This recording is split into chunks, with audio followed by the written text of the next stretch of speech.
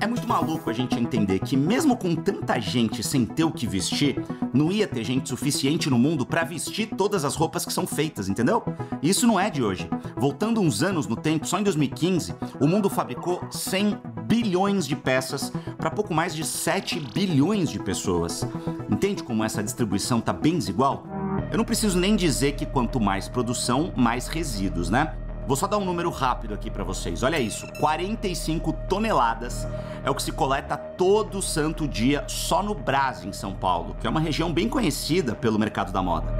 Isso dá 16 caminhões de sobras de tecido que vão pro lixo. Ampliando isso para todo um planeta Terra, segundo o relatório Fashion on Climate, só a indústria da moda é responsável pela mesma quantidade de gases de efeito estufa de França, Alemanha e Reino Unido juntos. Vocês conseguiram entender agora o quanto é absurdo a gente pensar em quantas pessoas que não têm o que vestir nesse cenário? Infelizmente, é assim que as coisas são.